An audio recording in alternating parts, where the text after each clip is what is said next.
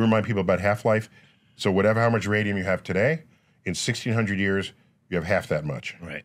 And then 1600 years, you have half of that. Half of that. So 3200 years, you'll have one fourth, One fourth. of what's sitting in So, front of you right yeah, now. so clearly so, that's- so you dead. What did gonna- she What did she die of? She died of aplastic anemia, so her body could no longer create red blood, blood cells. cells. Right. Partly radioactivity exposure, but also X-ray exposure, because during World War One, she outfitted a van with X-ray equipment and drove to the front, because it was going to be the first time that battle wounds could be X-rayed. And She, created a mobile X-ray unit She for. did.